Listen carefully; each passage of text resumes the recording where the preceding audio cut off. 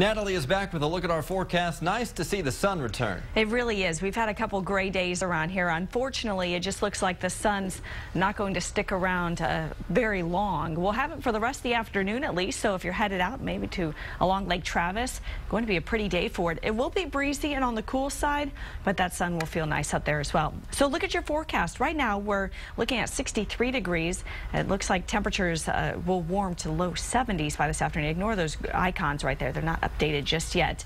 We'll see sunny skies all day.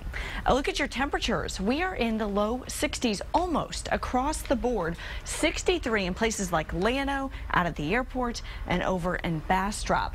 Now, right here in Austin, you're looking at 63 degrees, uh, sunny skies, and breezy north winds across the state. A much different setup than yesterday. Yesterday, we had those uh, showers and thunderstorms developing from the Dallas area out to uh, West Texas yesterday evening. Even a few stronger storms rolled into the hill country, but really dissipated before they made it to the metro area. And right now, you look across the state, everything is clear.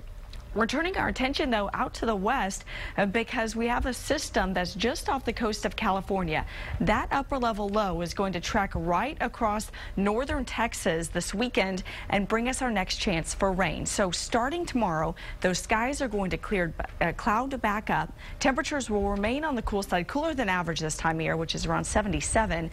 And then our showers start. Saturday afternoon and evening will continue into your Sunday with even a few thunderstorms possible.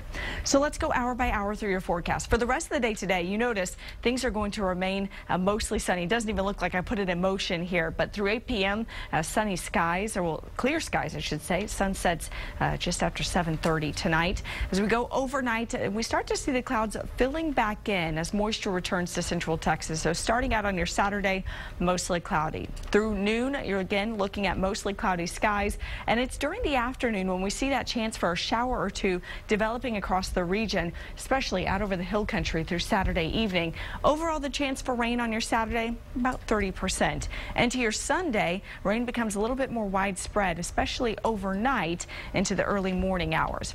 That chance is going to be about 40% on Sunday. So this weekend, of course, we have the Capital 10K. You're looking at temperatures to start out 55 degrees. Will be cool with some showers in the area. Possibility of a thunderstorm uh, through the noon hour, 64 degrees. This will be hit or miss as far as the wet weather goes. Uh, hopefully for this event, we'll be in the clear for the most part. But again, there's that chance. North winds will be light, 5 to 10 miles an hour. Let's talk about your forecast today. 72 degrees, windy or breezy. Winds up to about 20 miles an hour, gusts even higher. Sunshine. Tonight, the clouds fill in. It'll be cool. You're looking at 50 degrees. And for tomorrow, chance for a shower or two, and temperatures remain cooler than average in the upper 60s. Your seven day forecast. This weekend, there's that chance for showers or storms. Everything clears out, though, by Monday.